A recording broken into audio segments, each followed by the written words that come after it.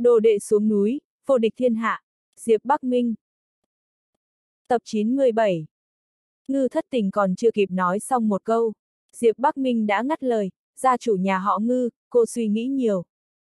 Đối với tôi mà nói, chuyện của nhà họ ngư không đáng nhắc đến, càng chưa nói đến tổn thương. Hơn nữa, lão tổ nhà họ ngư cũng nói, sau này mọi người coi nhau như người qua đường, không phải sao. Này, ngư thất tình ngậm miệng không trả lời được, gương mặt xinh đẹp trở nên trắng bệch. Cô ta gắt gao cắn chặt môi đỏ, gần như muốn nhỏ máu, cậu Diệp. Anh còn nợ tôi một nợ ân tình. Diệp Bắc Minh lắc đầu, gia chủ nhà họ ngư, quả thực tôi đã từng thiếu cô một ân tình, nhưng tôi trả lại cho cô hai ân tình. Gia chủ nhà họ ngư sẽ không phải là quý nhân hay quên chứ. Tôi, ngư thất tình há to miệng, một câu cũng không nói nên lời.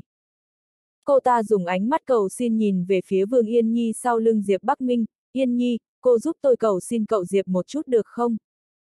Vương Yên Nhi hơi khó xử. Dù thế nào, hai người vẫn luôn là bạn bè cực thân thiết. Chỉ là gần đây, cô ta qua lại với Diệp Bắc Minh gần hơn chút. Mà sau khi trở thành gia chủ nhà họ Ngư, Ngư thất tình không còn liên hệ với cô ta nữa. Vương Yên Nhi nhìn lướt qua Diệp Bắc Minh, cô ta biết, chỉ cần cô ta mở miệng, Diệp Bắc Minh nhất định sẽ đồng ý hỗ trợ. Nhìn thấy đôi mắt Diệp Bắc Minh tràn ngập tơ máu, ba ngày ba đêm chưa chợp mắt. Cô ta thấy hơi đau lòng. Vương Yên Nhi hít sâu một hơi, thất tình, cậu Diệp đã không nghỉ không ngủ suốt ba ngày ba đêm. Suốt ba ngày này, anh ấy luyện đan, chữa bệnh với cường độ cao. Dù cho cô thật sự có việc gấp, có thể bàn bạc vào lần sau không? Tôi đăng ký cho cô nhé. Cô ta nắm lấy một góc váy dài, một kiếm chém đứt.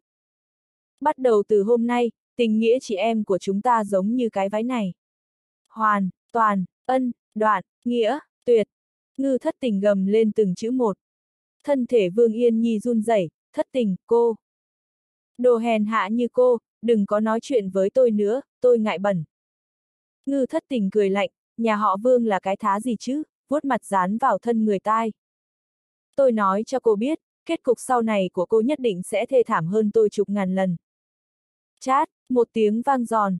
Ngư thất tình bụng mặt, không dám tin nhìn cô gái mặc đồ tím đột nhiên xuất hiện. Cô dám đánh tôi, cô lại dám đánh tôi. Cô biết tôi là ai không? Sở dĩnh nhi cười lạnh, cô là ai chứ? Chỉ là gia chủ của nhà họ ngư mà thôi. Dù là lão tổ nhà họ ngư cô tới, thấy tôi cũng phải kẹp chặt cái đuôi làm người. Mặt mũi ngư thất tình tràn ngập khuất nhục, cô là ai? Dám cả gan nhục, nhã nhà họ ngư. Giọng điệu của sở dĩnh nhi lạnh lế ô, tôi là sở dĩnh nhi, bố của tôi là quốc chủ thần quốc hư không sở vô ngân. Đủ chưa? Ngư thất tình theo bản năng lui lại hai bước. Thần quốc hư không? Trước mắt, đối với nhà họ ngư mà nói, quả thực là quái vật khổng lồ. Công chúa, tôi xin lỗi. Ngư thất tình nhục nhã cúi đầu xuống. Sở dĩnh nhi lạnh giọng mở miệng, tôi cảnh cáo cô, Yên Nhi là người bạn tốt nhất của tôi. Nếu như cô còn dám nhục mạ cô ấy, tôi đảm bảo sẽ khiến phụ hoàng của tôi san bằng nhà họ ngư cô. Cút! Ngư thất tình không dám ở lâu hơn một giây phút nào, chật vật che mặt chạy đi. Diệp Bắc Minh thấy thế, mọi người cũng giải tán đi. Người thu võ còn lại thấy thế thì không dám ở lâu. Sôi nổi lên tiếng từ biệt. Sở Dĩnh Nhi quay trở lại bên cạnh Vương Yên Nhi đầy mặt tủi thân, dịu dàng an ủi. Cô ta vốn chỉ muốn hỏi thăm tin tức của Diệp Phong, thấy Vương Yên Nhi vừa mới chịu chỉ trích liền vứt bỏ suy nghĩ này. Sở Dĩnh Nhi nhìn về phía Diệp Bắc Minh, Diệp Tông Chủ, tôi muốn hỏi thăm anh về một người. Lục Tuyết Kỳ cười khúc khích, tôi tên là Lục Tuyết Kỳ, đừng gọi tôi là chị gái xinh đẹp, gọi tên tôi là được. Được. Chị Tuyết Kỳ, chỉ có biết Diệp Phong không, sở dĩnh nhi liền vội vàng gật đầu, tiến lên nắm lấy tay Lục Tuyết Kỳ. Lục Tuyết Kỳ gật đầu, đương nhiên là biết, nhưng mà cô muốn hỏi tôi có biết cậu ấy không để làm gì. Gương mặt xinh đẹp của sở dĩnh nhi đỏ lên, kể lại chuyện xảy ra trong bữa tiệc sinh nhật của mình một lần. Diệp Phong đã giúp tôi giải vây, hơn nữa. Hơn nữa anh ấy còn nói tôi là người anh ấy thích trước mặt mọi người. Tôi, đường đường là công chúa của một nước, cũng không thể để anh ấy nói vậy mà không tính toán gì hết chứ. Nhìn thấy dáng vẻ nhăn nhăn nhó nhó của cô ta, tất cả các sư tỷ còn lại đều che miệng cười ra tiếng. Ai nấy đều không nhìn được liếc về phía Diệp Bắc Minh. Diệp Bắc Minh cảm thấy rất đau đầu. Anh thật sự không có cảm giác yêu đương nam nữ gì với sở dĩnh nhi. Chuyện của Thái Dương Tông còn chưa được giải quyết, cũng còn chưa biết được tình huống của bố mẹ. Bên cạnh anh đã có đủ hồng nhan chi kỷ rồi, anh quả thật không hề có ý tưởng gì về phương diện kia ồ. Phi, chín sư tỷ đều muốn cười đến điên rồi.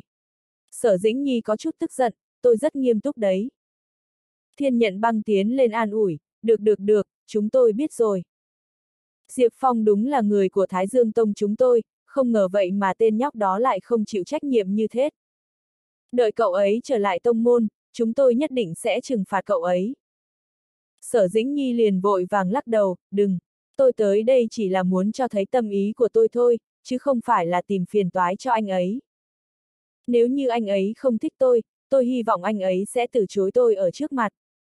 Sở Dĩnh Nhi tôi tuyệt đối sẽ không dây dưa, chỉ là tôi đã không còn nhiều thời gian lắm. Ba ngày sau, tôi sẽ đến Điện Thần Hoàng tìm sư phụ tôi, cho nên hy vọng các. Chỉ có thể đưa vật này cho Diệp Phong. Nói xong. Tiểu độc tiên tán thưởng một câu. Liễu như khanh gật đầu, tôi thích cô ta. Khương tử cơ liếc mắt một cái, khó mà làm được, người ta lại thích tiểu sư đệ mài. Ha ha ha ha, chín sư tỷ đều cười vang. Diệp Bắc Minh đau cả đầu, các sư tỷ, đừng cười nữa. Em thật sự không có cảm giác gì với cô ta cải. Thiên nhận băng thấy Diệp Bắc Minh không giống như đang nói đùa, liền nghiêm túc nhắc nhở, tiểu sư đệ, nếu em không thích thì hãy tìm cơ hội từ chối đi. Đừng khiến người ta bị tổn thương. Nói rồi liền đưa Phượng huyết bảo ngọc cho anh. Diệp Bắc Minh nhận lấy Phượng huyết bảo ngọc, nhẹ nhàng gật đầu, được, em sẽ tìm cơ hội nữa để biến thành dáng vẻ của Diệp Phong rồi từ chối cô ta vậy. Sau ngày hôm nay, Thái Dương Tông xem như đã hoàn toàn đứng vững gót chân ở thành phố thần. Về sau cuồng đan và các vị sư tỷ hãy cũng nhau tỏa chấn thiên hạ đệ nhất đan và thiên hạ đệ nhất y, 9 phần thu nhập đều dành cho Thái Dương Tông. Một phần thu nhập dành cho nhà họ Vương. Vương Yên Nhi giật mình, cậu Diệp, sao có thể? Diệp Bắc Minh lắc đầu, chuyện mà tôi đã đồng ý với nhà họ Vương thì nhất định sẽ làm được. Đôi mắt Vương Yên Nhi đỏ lên, vô cùng cảm động. Đột nhiên, sở dĩnh Nhi vọt vào, thế mà mấy người lại lừa tôi. Diệp Bắc Minh chính là Diệp Phong đúng không? Đám người sững sờ sau khi ngây người một chốc ngắn ngủi. Nhị sư tỷ thiên nhận băng đi lên trước, đang muốn mở miệng giải thích. Diệp Bắc Minh cảm giác được một chút sát ý ẩn giấu rất kỹ, nhị sư tỷ cẩn thận, cô ta không phải sở dĩnh nhi. Đáng tiếc đã trễ. Xoẹt. Một thanh loan đao bản ra từ trong tay sở dĩnh nhi, chém về phía cổ thiên nhận băng. Đậu mái sát thủ của thiên sát môn. Thanh đao lạnh như băng chỉ còn cách cổ của thiên nhận băng không đến nửa mét, lấy tốc độ của sát thủ thiên sát môn, nhị sư tỷ căn bản không thể tránh thoát được. Tám vị sư tỷ còn lại nhanh chóng xông lên. Chết đi! Sát thủ không chút do dự, vứt một quả đạn xương mù xuống rồi xoay người bỏ chạy. Diệp Bắc Minh lập tức đuổi theo, người của Diệp Bắc Minh tôi mà cô muốn ám sát liền ám sát, muốn đi thì đi sao? Anh vươn năm ngón tay chộp lấy không trung. ầm, um, một tiếng vang trầm. Sát thủ thê thảm ngã xuống đất, phun ra một ngụm máu tươi. Cô ta không có chút do dự nào, ngừng tụ lực lượng toàn thân vào trong đan điền, chuẩn bị tự bảo. Phút, a, à, tiếng đan điền nổ tung và tiếng kêu thảm gần như vang lên đồng thời. Sát thủ hoảng sợ cúi đầu, thế mà vị trí đan điền của mình lại nổ ra thành một cái lỗ thủng kinh khủng. Đan điền của cô ta đã hoàn toàn bị phế đi, muốn tự bạo cũng không thể. Ẩm, một lực lượng chộp tới, mặt nạ ra người của sát thủ bị xé rách xuống, để lộ ra một khuôn mặt phụ nữ bình thường. Cô đến từ phân đà thứ mấy? Ai là đà chủ của cô? Người phụ nữ giật mình, thế mà cậu còn biết cả những điều này, số 17 phân đà thứ 108 quả nhiên đã làm phản rồi. Diệp Bắc Minh, cậu vẫn sẽ chết thôi. Hỏi một đẳng, trả lời một nẻo. Diệp Bắc Minh lạnh lùng lắc đầu. Anh tiến lên một bước, đạp mạnh xuống, đùi của nữ sát thủ nổ tung tại chỗ. Nữ sát thủ kêu lên một tiếng đau đớn, mạnh mẽ nhẫn nhịn đau nhức kịch liệt. Cô ta còn quay về phía Diệp Bắc Minh, nhếch miệng cười một tiếng, Diệp Bắc. Minh, cậu cho rằng tôi sẽ sợ đau sao? Lúc này, một giọng nói uy nghiêm từ ngoài cửa truyền đến, dừng tay. Một giây sau, hai lão già mặt trắng không dâu đi vào cửa y quán, nhìn lướt qua hiện trường. Một lão già trong đó mở miệng nói, Diệp Tông Chủ, lão phu là Hà Bại Đông, vị này là ông lãnh lãnh đoạn ly. Hai người chúng tôi phụ trách trị an bên trong thành phố thần này, mấy ngày nay danh tiếng của Thái Dương Tông và Diệp Tông Chủ vang vọng khắp thành phố thần, chúng tôi đều đã thấy. Nhưng mà thành phố thần cấm chỉ sử dụng tư hình, chúng tôi muốn đưa sát thủ của thiên sát môn đi. Hiển nhiên hai người đều là cảnh giới thần hoàng trung kỳ. Diệp Bắc Minh trầm mặt xuống, vừa rồi cô ta suýt thì giết chết sư tỷ tôi, mấy người vừa xuất hiện đã muốn đưa cô ta đi sao? Ông cảm thấy trên đời này có chuyện như vậy sao? Hà Bại Đông mỉm cười, Diệp Tông Chủ, cậu đừng hiểu lầm. Hai người chúng tôi tuyệt đối không phải nhằm vào cậu, mà là gần đây thiên sát môn không chỉ muốn ám sát mỗi mình cậu ở thành phố thần. Mấy nhân vật lớn đều đã chết trong tay sát thủ của thiên sát môn, bây giờ người trong tay cậu chính là người duy nhất còn sống. Lãnh đoạn ly hừ nhẹ một tiếng, giải thích nhiều với cậu ta như vậy làm gì? Trực tiếp đưa đi, cậu còn dám phản kháng hay sao? Nói xong liền tiến lên một bước, đi về phía nữ sát thủ. Diệp Bắc Minh siết chặt năm ngón tay lại, trực tiếp bóp nát cổ nữ sát thủ. Cậu! Lãnh đoạn ly giận dữ đến mức hai tay đều đang run rẩy, nhóc con, vất vả lắm chúng tôi mới bắt được một người sống, cậu lại giết như vậy sao? Diệp Bắc Minh lạnh nhạt nhìn ông ta, giết thì sao chứ? Ẩm! một luồng sát ý ngút trời xông ra, trong nháy mắt đã khóa chặt lấy Diệp Bắc Miên Hy. Lúc sắp ra tay, ông lãnh, được rồi. Hà bại đông ngăn lãnh đoạn ly lại, đẩy ông ta ra khỏi y quán. Sau đó nhìn chằm chằm Diệp Bắc Minh một chút rồi mở miệng, Diệp Tông Chủ, lão phu nhắc nhở cậu một câu, Thái Dương Tông mới vừa đứng vững gót chân ở thành phố thần. Làm người vẫn nên biết điều một chút thì hơn. Thành phố thần ngọa hổ Tàng Long, đã có rất nhiều người chú ý tới cậu và Thái Dương Tông rồi đấy. Vì sao vậy? Diệp Bắc Minh kinh ngạc hỏi. Tháp Càn Khôn chấn ngục trả lời, tôi nghi ngờ bên trong đó có người vượt qua tổ cảnh tồn tại. Vượt qua tổ cảnh, Diệp Bắc Minh giật mình. Lúc này, bên ngoài truyền đến một giọng nói, Diệp Tông chủ có ở trong đó không? Diệp Bắc Minh nhướng mày, đi ra khỏi cửa. Dưới bậc thang có một người đàn ông trung niên đang đứng, ông ta nhìn lướt qua Diệp Bắc Minh, cậu chính là Diệp Tông chủ sao? Là tôi. Diệp Bắc Minh gật đầu. Người đàn ông trung niên lấy ra 12 tấm thiếp mời, hôm nay là tiệc tháng của phủ thành chủ, đặc biệt mời Diệp Tông chủ và 9 vị sư tỷ, Cuồng Đan, cô Vương Yên Nhi đến dự tiệc. Sau khi đặt thiệp mời xuống, người đàn ông trung niên nhanh chóng rời đi. Diệp Bắc Minh và 9 sư tỷ vô cùng khó hiểu. Chỉ có Vương Yên Nhi ngạc nhiên đến mức suýt nữa thì nhảy dựng lên, tiệc tháng của phủ thành chủ. Trời ạ, à, lại là tiệc tháng của phủ thành chủ. Làm sao vậy?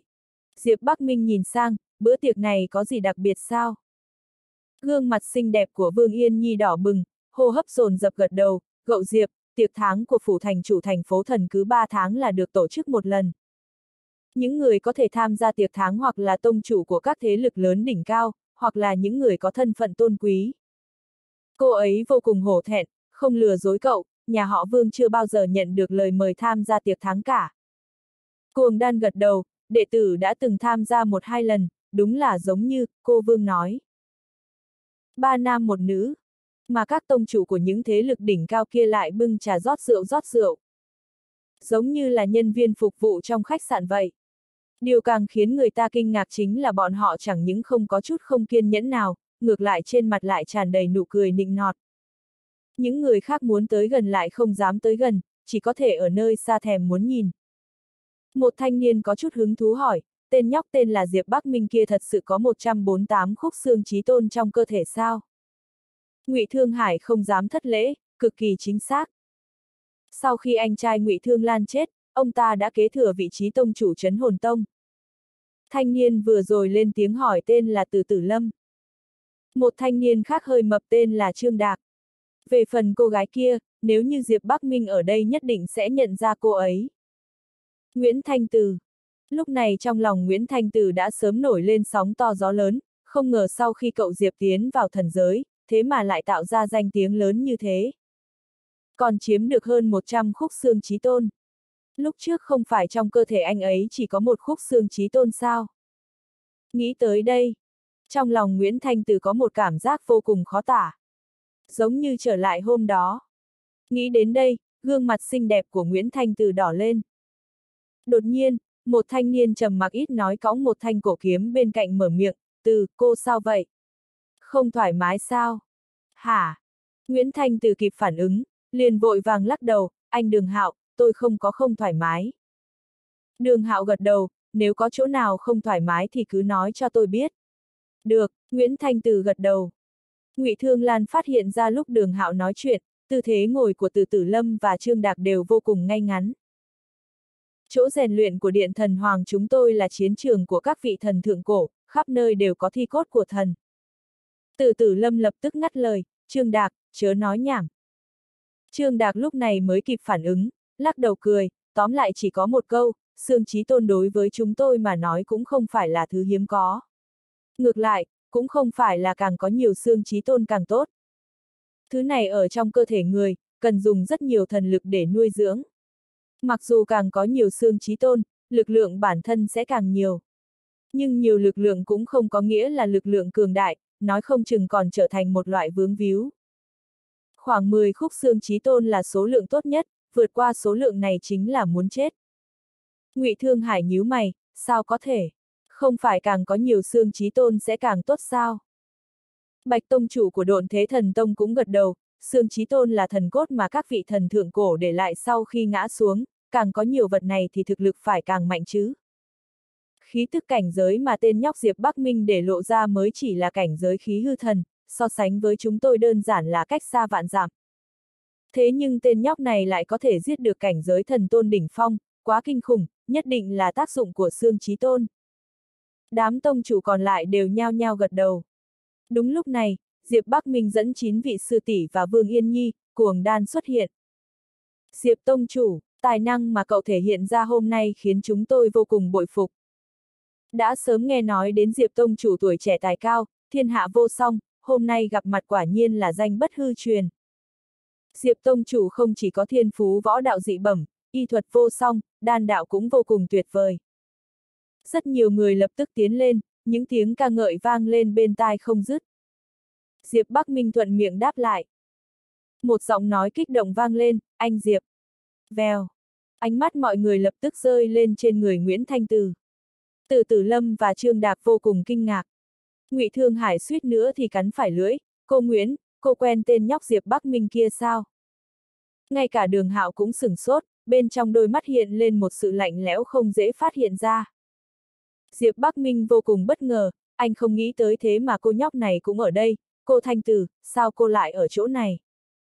Nguyễn Thanh Từ nở nụ cười xinh đẹp, đôi mắt to cong thành hình trăng lưỡi liềm, sau khi đến thần giới, mẹ tôi đã cảm ứng được lực lượng huyết mạch của tôi rồi tìm được tôi, bây giờ tôi đã là đệ tử của Điện Thần Hoàng rồi. Cô ấy rời khỏi chỗ ngồi. Chạy chậm đến trước mặt Diệp Bắc Minh. Chúc mừng. Diệp Bắc Minh chắp tay, chân thành chúc phúc. Cậu Diệp, các cô ấy là... Lúc này Nguyễn Thanh Từ mới chú ý tới sau lưng Diệp Bắc Minh có 10 người phụ nữ hiểu điệu xinh đẹp. Sắc mặt cô ấy có chút mất mát. Hôm đó vào lúc tuyển chọn thần dáng, bên cạnh Diệp Bắc Minh đã có rất nhiều phụ nữ rồi. Lần này thế mà lại đổi thành một nhóm người khác, chẳng lẽ Diệp Bắc Minh là người dễ thay lòng đổi dạ sao? Trong đôi mắt cô ấy có cái gì đó đang thay đổi, có chút không khống chế nổi. Phi. Vương Như Yên cười khúc khích, cô Thanh Từ đừng khẩn trương, chúng tôi đều là sư tỷ của cậu ấy. Đúng, chúng tôi đều là sư tỷ của cậu ấy cả. Các sư tỷ còn lại đều cười gật đầu. Chút mất mát nho nhỏ vừa rồi của Nguyễn Thanh Từ trong nháy mắt đã biến mất vô tung vô ảnh, đôi mắt đẹp sáng lên, ạc. Chào các chị. Thái độ của cô gái điện thần hoàng đối với Diệp Bắc Minh không đúng lắm. Nói nhảm, tôi cũng không phải mù loà, chắc chắn là coi trọng Diệp Bắc Minh Hy. Ngoá nó, sao tên nhóc này lại có duyên với phụ nữ như thế? Một số người thấp giọng phàn nàn. Từ tử lâm và Trương Đạc liếc nhìn nhau, lại cùng nhau nhìn về phía đường hạo. Diệp Bắc Minh vừa nói xong, không khí ở đây liền lạnh xuống trong nháy mắt. Đương nhiên mọi người ở đây đều đã nghe nói đến việc mấy tông môn lớn đặt cược với Thái Dương Tông. Chỉ là không nghĩ tới, thế mà Diệp Bắc Minh lại nói ra ở trước mặt mọi người. Ngụy Thương Hải có chút không nhịn được, Diệp Bắc Minh, cậu đã giết anh trai tôi, vậy mà còn muốn tài nguyên tu võ của Trấn Hồn Tông sao?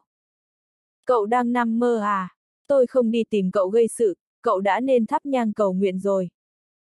Diệp Bắc Minh vô cùng bình tĩnh, nói như vậy, ông không định trả đúng không? Ngụy Thương Hải cười lạnh, không trả thì sao chứ?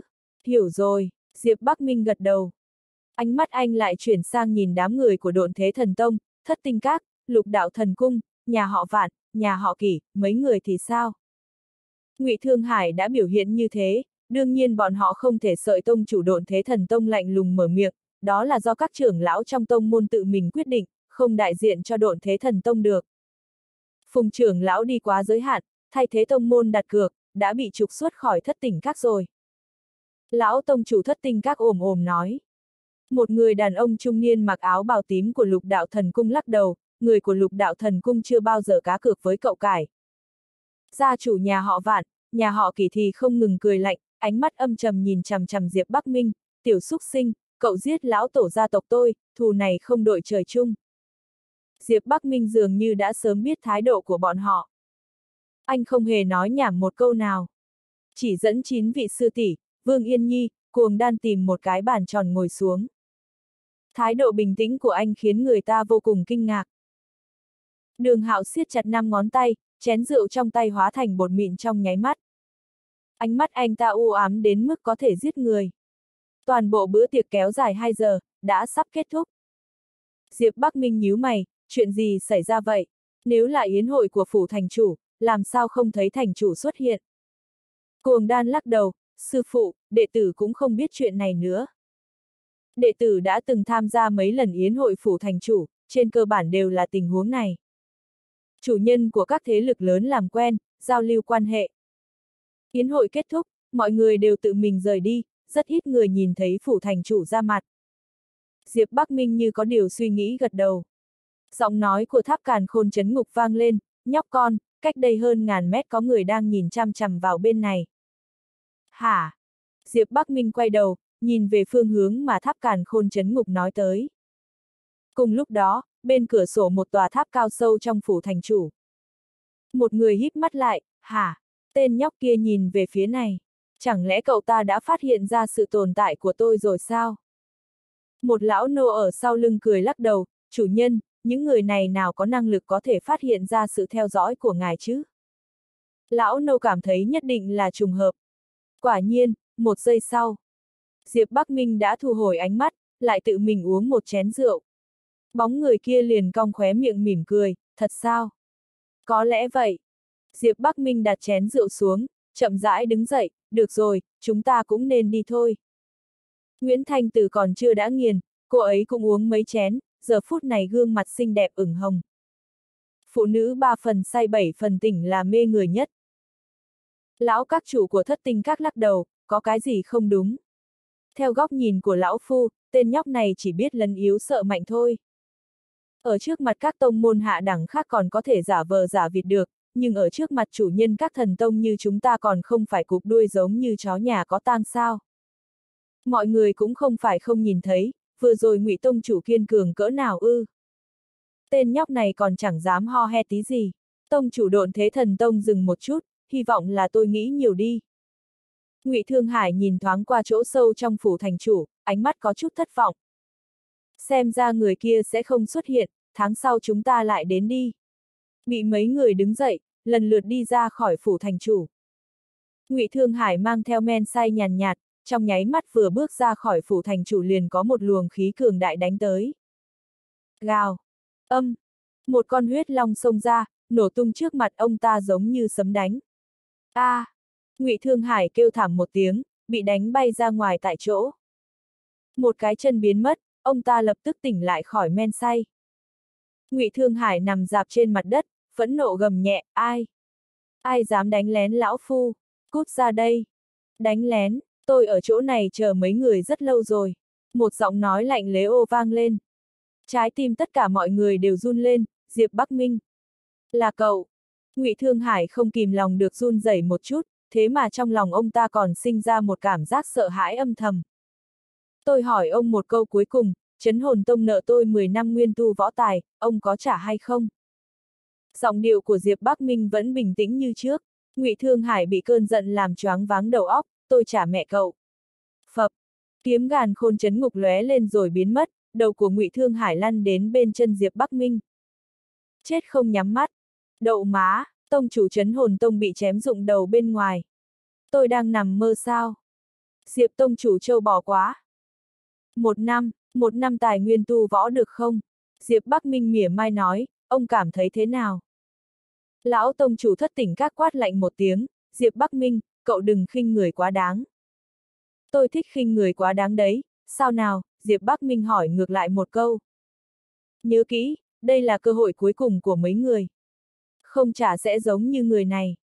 Anh dẫm một chân xuống. ầm, um, đầu của Ngụy Thương Hải nổ tung tại chỗ.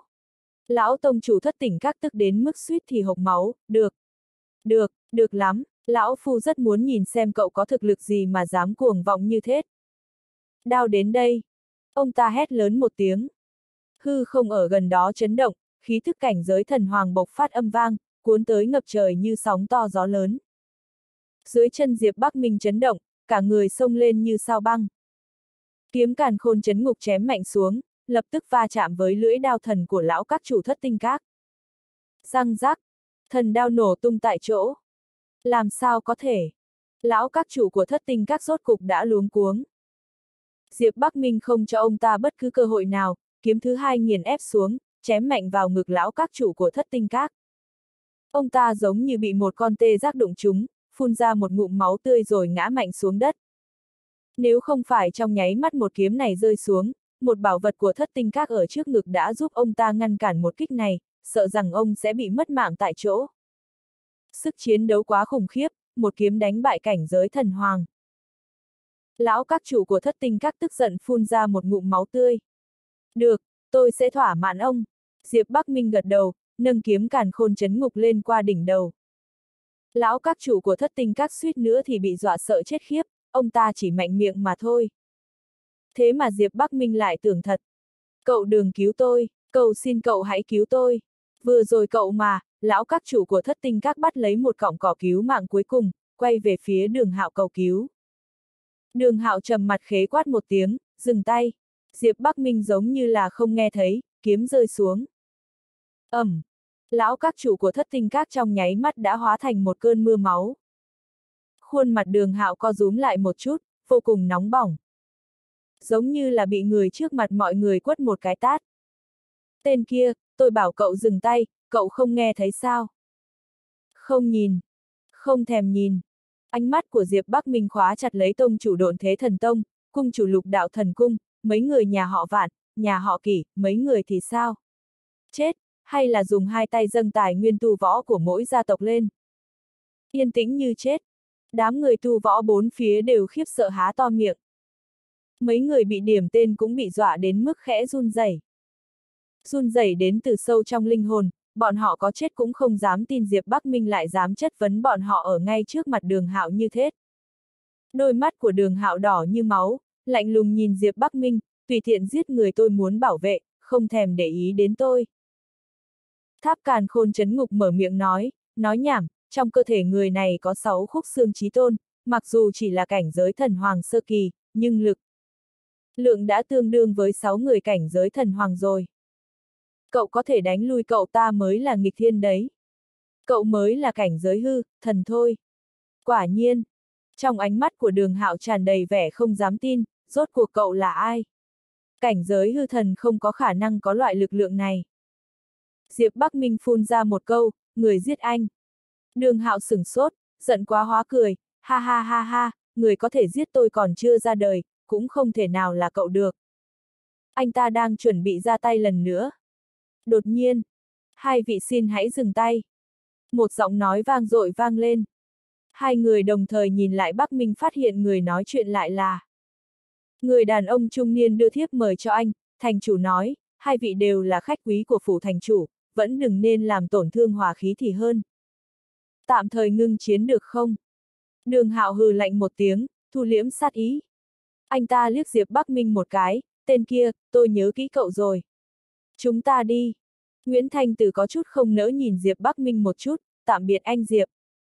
Tông chủ độn thế thần tông, cung chủ lục đạo thần cung, mấy người nhà họ vạn, nhà họ kỳ thấy thế liền tranh nhau mở miệng, Diệp Tông chủ chúng tôi nguyện ý giao ra 10 năm tài nguyên tu võ. Giọng nói của Diệp Bắc Minh lạnh như băng, tôi nói là đã muộn rồi. Một luồng sát ý phóng lên tận trời. Cậu điên rồi. Bốn người vô cùng sợ hãi, không ngừng lui lại.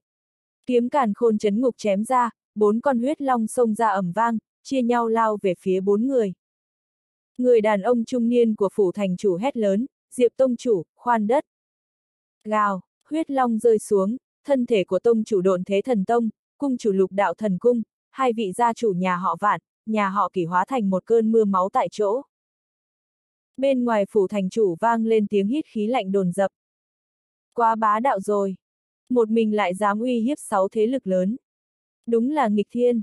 Nếu chuyện này mà truyền ra ngoài, chắc chắn sẽ khiến cả thần giới bùng nổ. Mọi người đều biết, bắt đầu từ khoảnh khắc này, ba chữ Diệp Bắc Minh đã in sâu trong sâu thẳm linh hồn của tất cả người thần giới. Thậm chí, một số ông lão lập tức cảnh cáo con cháu đời sau của gia tộc của mình. Đừng chọc và Thái Dương Tông và Diệp Bắc Minh, vẫn là tòa lầu các ở sâu trong phủ thành chủ đó. Khóe miệng bóng hình đó nhếch lên một nụ cười, người thú vị, quyết đoán sắt đá. Sát phạt vô tình. Tin tức được truyền về Trấn Hồn Tông. Trong hội trường nghị sự, ức hiếp người quá đáng. Một ông lão như con sư tử giáng xuống một trường, chiếc bàn dài nghị sự của phòng họp lập tức hóa thành bột vụn. Các trưởng lão khác đều đứng lên, lão tổ, xin bớt dập. Bớt giận, kẻ này không chết, sau này chấn hồn tông còn dám tự xưng là thần tông không? Trong lồng ngực ông ta dồn nén một cơn lửa giận, tên nhóc này giết liền hai tông chủ của ta, nếu hắn không chết, sau này chấn hồn tông cũng không còn mặt mũi nào nữa.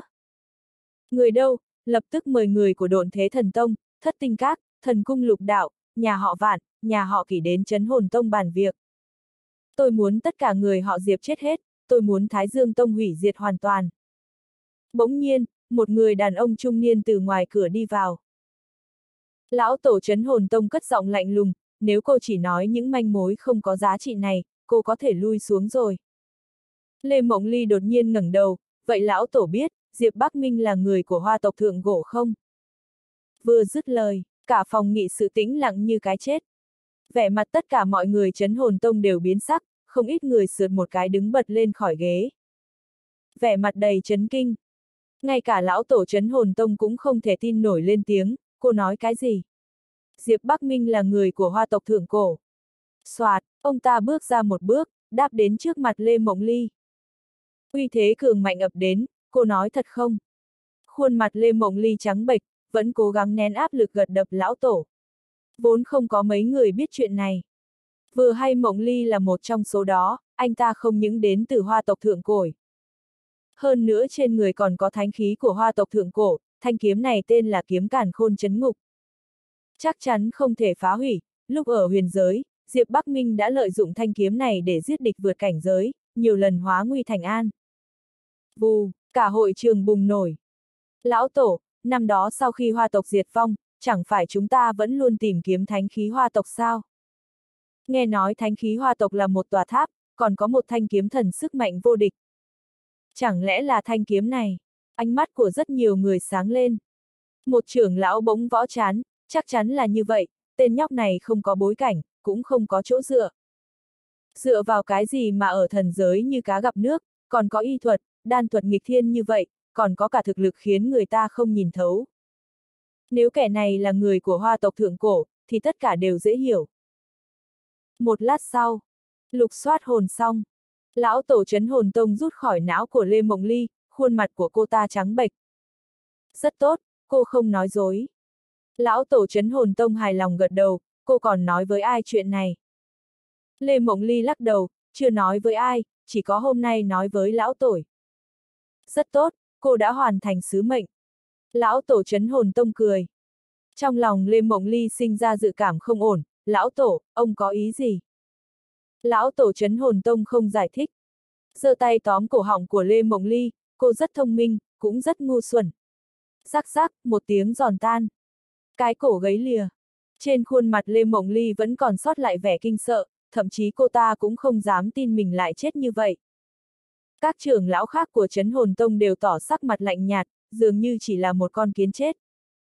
Trong phòng họp vang lên giọng lạnh như băng của lão tổ Trấn Hồn Tông, thứ nhất, thân phận của Diệp Bắc Minh chỉ có những người ở đây biết. Bất kỳ ai. Truyền ra ngoài, đừng trách bản lão tổ diệt cả tộc của người đó. Mấy sư tỷ cũng chừng mắt trắng thật to, phí lời. Các tỷ không muốn biết cũng, khói. Các võ giả qua đường bên ngoài bàn tán xôn xao ẩm trời rồi. Tiểu sư đệ, đệ vừa hứa với các tỷ phải khiếm tốn, thế này thì quá nổi rồi. Các sư tỷ tỏ vẻ mặt lo lắng. Cơ thể của Vương Yên Nhi run lên, cô cảm thấy mình như đang nằm mơi chấn hồn tông, độn thế thần tông, thất tinh các, thần cung lục đạo. Nhà họ vạn, nhà họ kỳ. Đâu có ai không phải là nhân vật lớn. Tông chủ, gia chủ của mấy thế lực lớn lại bị cậu Diệp chém giết toàn bộ trong một lúc. Mà còn giết trước mặt nhiều người. Đúng là nghịch thiên. Diệp Bắc Minh nhún vai, càng khiêm tốn, đến lúc đó người khác càng ức hiếp chúng ta. Thế giới cá lớn nuốt cá bé khiêm tốn là vô ích, để phải lập uy cho Thái Dương Tông. Thiên nhận băng gật đầu, tiểu sư đệ từng nói, mọi người còn nhớ trước đó hơn ngàn tông môn liên thủ ép cung Thái Dương Tông không? Cuộc chiến hôm nay, tiểu sư đệ giết liền sáu tông chủ của thế lực lớn, tuy đã đắc tội với sáu thế lực lớn. Nhưng suy nghĩ từ một góc độ khác, các thế lực khác muốn đối đầu với chúng ta phải cân nhắc bản thân. Kẻ địch của chúng ta không còn là hơn ngàn tông môn, mà chỉ có sáu thế lực lớn. Thiên nhận băng giải thích như vậy, những người khác đều gật đầu. Cuồng đan cũng tán thành cách nói này, tôi đồng ý với cách nói của cô băng. Tôi còn có một vài người bạn giới đan đạo. Đến lúc đó tôi nói với họ, bảo họ đừng làm khó Thái Dương Tông. Vương Yên Nhi lên tiếng, nhà họ Vương cũng có vài người bạn làm ăn kinh doanh, đến lúc đó tôi cũng nói với họ một tiếng. Cần rắc rối thế không? Đồng ý với tôi một chuyện, tôi bảo đảm họ không dám gây chuyện với cậu. Bỗng nhiên, một giọng nói thanh lạnh vang lên từ bên ngoài. Diệp Bắc Minh và chín sư tỷ đều vui mừng, giọng của đại sư tỷ. Tôi không hiểu, cô có việc gì muốn nhờ tôi giúp? Diệp Bắc Minh cau mày. Lạc Khuynh Thành lướt nhìn anh một cái, cậu nên biết thân phận của tôi, thần Hoàng Khuynh Thành của Điện Thần Hoàng. Tôi không phải đại sư tỷ của cậu, đại sư tỷ của cậu chỉ là một tấm thân chuyển thế mà tôi tu luyện công pháp, chỉ có điều cô ta đã sinh ra ý thức của riêng mình. Diệp Bắc Minh cất giọng run run, cho nên, đại sư tỷ của tôi không còn nữa. Đúng. Lạc Khuynh Thành gật đầu. Đôi mắt Diệp Bắc Minh đỏ bừng, một luồng sát ý ngút trời bùng phát. Nhiệt độ trong cả hội trường giảm xuống mấy độ. Lạc Khuynh Thành lại cảm nhận được nguy hiểm. Cô ấy có ảo giác, nếu người đàn ông trước mặt thực sự ra tay có thể có cũng có thể giết cô ấy. Nhưng, ý thức đó của cô ta vẫn chưa chết, mà ở sâu trong cơ thể tôi. Sát ý của Diệp Bắc Minh liền giảm bớt, cô đến tìm tôi có mục đích gì? Lạc Khuynh Thành mỉm cười, làm một cuộc giao dịch với cậu. Giao dịch gì? Diệp Bắc Minh cao mày. Lạc Khuynh Thành nói, ý thức của đại sư tỷ cậu rất mạnh, tôi đã thử mấy cách cũng không thể hoàn toàn luyện hóa cô ta. Nói cách khác, bây giờ cô ta đã là một ý thức độc lập, ở lại trong cơ thể tôi cũng rất rắc rối. Nếu cậu giúp tôi tiến vào khu thí luyện của Điện Thần Hoàng, và lấy từ đó ra một thứ, tôi có thể bảo đảm trả lại một tia thần hồn của đại sư tỷ của cậu cho. Cậu! Diệp Bắc Minh khế động trong lòng, có thể khiến đại sư tỷ của tôi sống lại ư. Lạc Khuynh Thành suy nghĩ, chậm rãi lên tiếng, không thể. Cô giỡn tôi hả? Trong lòng Diệp Bắc Minh nổi lên cơn lửa giận. Nhưng, cô nói chuyện không thể nói hết một lần hả? Lạc Khuynh Thành hỏi lại, cậu cho tôi cơ hội ư? Treo hai tấm lên trước cổng lớn y các và đan các của cậu, bảo đảm không ai dám đến gây chuyện. Tấm thứ ba cậu giữ lấy sử dụng, 7 ngày sau đến Điện Thần Hoàng tìm tôi. Lạc Khuynh Thành chuẩn bị quay người bỏ đi. Rồi bỗng dừng lại nhìn Diệp Bắc Minh một cái, khuôn mặt này của cậu quá nổi tiếng, lúc đến tìm tôi nhớ đổi khuôn mặt khác. Diệp Bắc Minh cầm ba tấm lệnh bài, gọi mọi người ra. Đại sư tỷ đâu? Đã đi rồi. Diệp Bắc Minh trả lời, Yên Nhi, Đồ Nhi, treo hai tấm lệnh bài này lên trước cửa thiên hạ đệ nhất y và thiên hạ đệ nhất đan. Hai người nhận lấy lệnh bài xem. Lệnh thần hoàng, suýt. Hai người không hẹn mà cùng hít khí lạnh. Vương Yên Nhi kinh ngạc nói, cậu Diệp, là người vừa nãy đưa cho cậu ư. Diệp Bắc Minh gật đầu. Ánh mắt của cuồng đan ngưng trọng, lệnh thần hoàng có thể đại diện cho cả điện thần hoàng, ai dám coi thường lệnh thần hoàng chính là đối địch với trăm vị thần hoàng của điện thần hoàng. Có hai tấm lệnh bài này treo ở cửa, tương đương với kim bài miễn chết. Từ nay về sau không ai dám đến gây chuyện nữa. Quả nhiên, Sau khi lệnh thần hoàng được treo lên, cả thành phố thần lại sôi sục. Vãi, lệnh thần hoàng Thái Dương Tông lại có lệnh thần hoàng, mà còn có hai cái. Là điện thần hoàng chống lưng cho Thái Dương Tông sao? Tin tức nhanh chóng truyền đi. Vương Yên Nhi mặt đỏ tía tai, cô ta trợn mắt, đó là sức mạnh của thần hoàng lệnh ư. Mạnh quái. Người nhà họ Vạn và nhà họ Kỷ cũng đến, hai nhà đều đưa tặng tài nguyên u võ 10 năm. Ai chẳng biết nhà họ Vạn và Thái Dương Tông từ xưa đến nay vốn là bạn bè thân thiết. Nhà họ Kỷ và Thái Dương Tông thiết lập quan hệ hữu nghị lâu dài, sau này Diệp Tông chủ rảnh rỗi thì đến nhà họ Kỷ chơi. Diệp Bắc Minh nhận đồ đạc, bày tỏ xóa bỏ mọi ân oán. Không có bạn bè vĩnh viễn, cũng không có kẻ thù vĩnh viễn. Năm thế lực lớn cảm kích và rời đi. Yên nhi, mấy thứ này giao cho cô xử lý. Một phần trong số đó đưa cho nhà họ Vương. Ơ, Vương Yên Nhi được yêu ái thì vừa mừng vừa sợ, vội lắc đầu, không được, không được đâu. Thế này nhiều quá, Yên Nhi không dám lấy. Dù chỉ có một phần mười thì số lượng cũng quá nhiều. Nhà họ Vương nhỏ lắm, nhiều đấy đã đủ cho nhà bọn họ dùng trong 100 năm rồi. Điều đó có nghĩa là gì? Có nghĩa là trong một năm trăm tới nhà họ Vương không cần kinh doanh buôn bán nữa, con cháu trong nhà chỉ cần tập trung tu võ là được. Diệp Bắc Minh nghiêm mặt, cầm lấy. Vương Yên Nhi không từ chối được, chỉ có thể gật đầu. Tiếp theo, Diệp Bắc Minh lại bồi một câu, từ giờ trở đi, nhà họ Vương sẽ là đại lý có quyền tiêu thụ đan dược của thiên hạ đệ nhất đan. Trời ạ, à, thiên hạ đệ nhất đan có Diệp Tông Chủ và cuồng đan tỏa chấn, nhà họ Vương vớ bở rồi. Vãi, nhà họ Vương dựa lưng Thái Dương Tông, e rằng sau này sẽ chen vào. Hàng ngũ gia tộc siêu cấp. Cô ta vừa mới chen ra khỏi đám đông thì có vài người mặc áo choàng đen chặn đường đi của cô ta, oán khí trên người cô rất nặng, bọn tôi đứng ở xa cũng đã cảm nhận được. Cô có muốn cô gái bên cạnh Diệp Bắc Minh chết không? Ngư thất tình bày ra vẻ lạnh nhạt, mấy người là ai? Tránh ra. Một người mặc áo choàng đen trong số đó nở nụ cười, sai đó lộ ra khuôn. Mặt đeo mặt nạ quỷ, thiên sát môn. Phân đà chủ thứ 9, thiên sát môn. Ngư thất tình tỏ ra sợ hãi, vô thức lùi lại vài bước, nhà họ ngư bọn tôi chưa từng dây vào mấy người. Người áo choàng đen lắc đầu cười, bọn tôi cần một người ra mặt thay, nhà. Họ ngư các cô là lựa chọn phù hợp. Trở thành người đại diện cho bọn tôi, trong vòng một năm, bọn tôi sẽ tiêu diệt Thái Dương Tông. Và cả cô gái kia cùng với gia tộc sau lưng cô ta, tôi sẽ khiến chúng tử trên. Trời rơi xuống địa ngục, ngư thất tình run rẩy, vì sao lại chọn nhà họ ngư chúng tôi? Ánh mắt của người mặc áo choàng đen vô cùng lạnh lùng, đừng hỏi nhiều. Bây giờ cô chỉ có lựa chọn. Lột là đồng ý với bọn tôi, trở thành người đại diện cho bọn tôi. Hai là chết, mấy người mặc áo choàng đen khác tiến lên, bao vây ngư thất tình. Ngư thất tình biết một khi mình từ chối thì chắc chắn sẽ rơi vào tình cảnh. Không thể nào cứu vãn, được, tôi đồng ý với ông. Nhưng tôi có một điều kiện, tôi muốn nhìn thấy nhà họ Vương hủy diệt trong thời gian ngắn nhất. Được. Chấn hồn tông. Lão tổ, không biết tiểu tử Diệp Bắc Minh lấy đâu ra hai chiếc thần hoàng lệnh. Độn thế thần tông, thất tinh các, lục đạo thần cung, nhà họ Vạn, nhà họ Kỷ đã đưa tài nguyên tu võ trong 10 năm cho Diệp Bắc Minh. Đại điện nghị sự lặng ngắt như tờ. Một lát sau, một ông lão mặt dỗ lên tiếng, trước kia hoa tộc thượng cổ diệt vong, điện thần hoàng đã kế thừa tất cả mọi thứ của hoa tộc thượng cổ. Bọn họ là người muốn hoa tộc thượng cổ hủy diệt triệt để nhất, sao có thể giúp Diệp Bắc Minh được.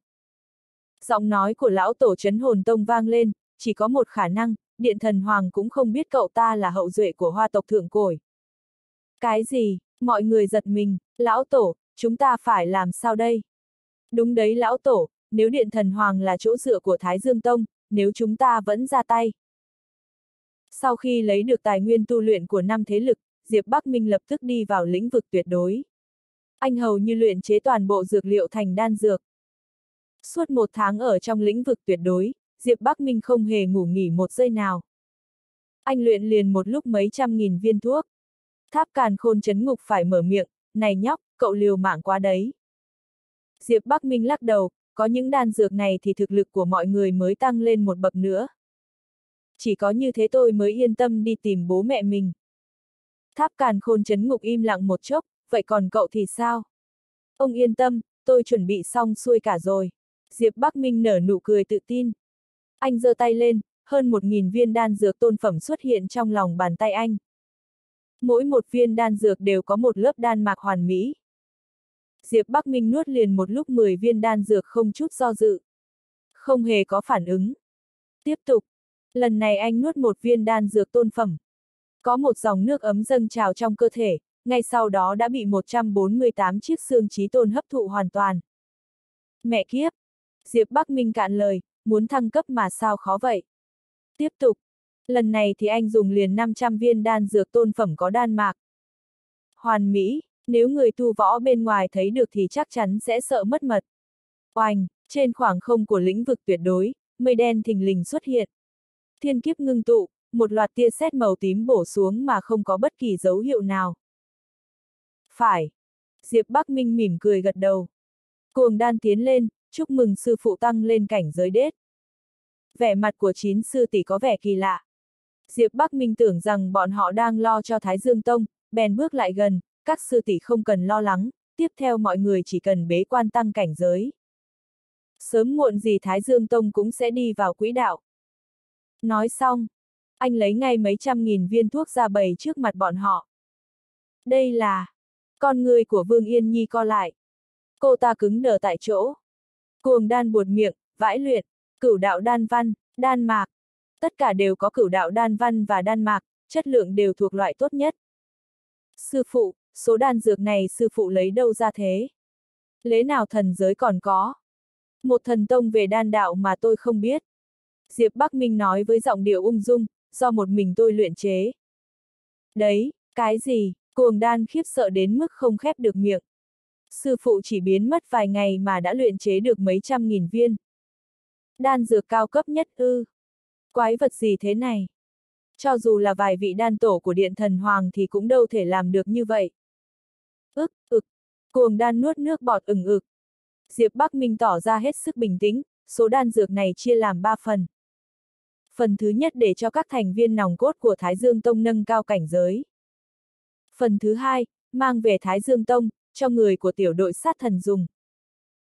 Vương Như Yên, Hoàng hậu Hồng Đào, Lục Tuyết Kỳ, Liễu Như Anh, Khương Tử Cơ đều tỏ ra không đành. Thiên nhận băng lắc đầu, đừng hành động theo cảm tính, chuyện này liên. Quan đến sự tiếp nối của hoa tộc thượng cổ. Đây là cơ hội cuối cùng của chúng ta nếu thất bại thì chắc chắn chúng ta chẳng còn đường cứu vãn nữa. Hàng trăm thế hệ dốc hết tâm huyết mới tạo ra cơ hội này, há có thể hủy hoại trong tay chúng ta. Tám người chấn động, vẻ mặt của mỗi người trở nên kiên định, nhị sư tỷ, bọn em biết rồi. Vương Yên Nhi và cuồng đan đần mặt ra, các chị à, các chị đang nói gì thế? Thiên nhận băng quỳ một gối xuống, Yên Nhi cô nương, tiền bối cuồng đan, sau này tiểu sư đệ đành nhờ hai người. Ở thần giới, không một ai không biết điện thần hoàng. Diệp Bắc Minh chỉ tùy ý hỏi thăm là đến được điện thần hoàng. Trước mặt, 99 ngọn núi rồng tự nhiên thành hình, như chiếm được mọi sự tuyệt mỹ của trời đất. Bên ngoài điện thần hoàng đông nghịt người, vô số người tu võ quỳ xuống, dập đầu cúng bái. Hy vọng sự thành kính của mình có thể khiến những người trong điện thần hoàng cảm động, để mình trở thành đệ tử của bọn họ. Khi Diệp Bắc Minh nhìn 99 ngọn núi rồng, anh vô cùng chấn động, tiểu tháp, chuyện gì thế này? Điện thần hoàng ấy thế mà lại có bố cục địa thế giống hệt di tích côn luân thượng cổ. Tháp càn khôn chấn ngục nói, hiển nhiên là điện thần hoàng được xây phỏng theo di tích côn luân thượng cổ. Tuy mô phỏng nhưng vẫn có thể ngưng tụ khí vận thiên địa. Ở trong 99 ngọn núi rồng này tu luyện thì chắc chắn làm chơi ăn thật. Ai thế? Thế mà lại dám đứng trên thang thần à? Đám đông náo động. Cảnh giới đế, chỉ là một thằng nhãi cảnh giới đế thôi, cậu ta điên rồi à? Càng ngày càng có nhiều người chú ý Diệp Bắc Minh. Tất cả mọi người đều quỳ gối trên bậc thang, đi một bước dập đầu một cái. Với tấm lòng hành hương. Còn Diệp Bắc Minh lại dám lên thang thần, đi đến cửa của điện thần hoàng, quả thực là khinh nhờn điện thần hoàng. Cậu kia, quỳ xuống cho tôi. Một chàng trai đứng dậy, quát, cậu biết đây là đâu không?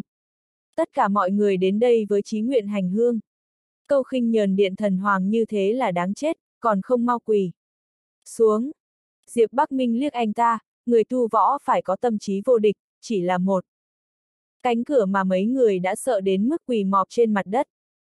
Dù các anh có thể đi vào điện thần hoàng thì cũng chỉ là một đám vô dụng thôi.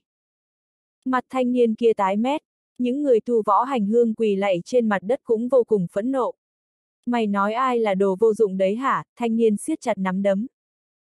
Diệp Bắc Minh nói với giọng lạnh nhạt, những ai quỳ dưới đất đều là hạng phế vật. Anh ta hoàn toàn nổi giận, thằng danh, mày chỉ mới đến cảnh giới đế thôi, chết đi cho tao. Nhớ kỹ, người giết mày là viên sĩ tổ cảnh giới thiên thần bùng nổ uy thế, anh ta cũng coi như tiểu thiên tài. Anh ta xông lên tấn công Diệp Bắc Minh như dã thú. Diệp Bắc Minh không thèm quay đầu lại, khi chàng trai cách anh chỉ cần một mét. Âm, một tiếng nổ kinh thiên động địa, đối phương bay ra ngoài như chó chết. Nên mạnh xuống chân bậc thang. Tôi nhìn lầm rồi ư, viên sĩ tổ thất bê. Cậu ta là ai? Chỉ là cảnh giới đế, chưa ra tay mà đã đánh bại viên sĩ tổ ở cảnh giới thiên thần ư. Dọc chiếc cầu thang dài, khắp bốn phía vang lên vô số tiếng hô bất ngờ, kinh. Ngạc. Diệp Bắc Minh chẳng buồn liếc mắt một cái, anh đi nhanh đến cửa điện thần hoàng. Audio điện tử võ tấn bền. Hết tập 97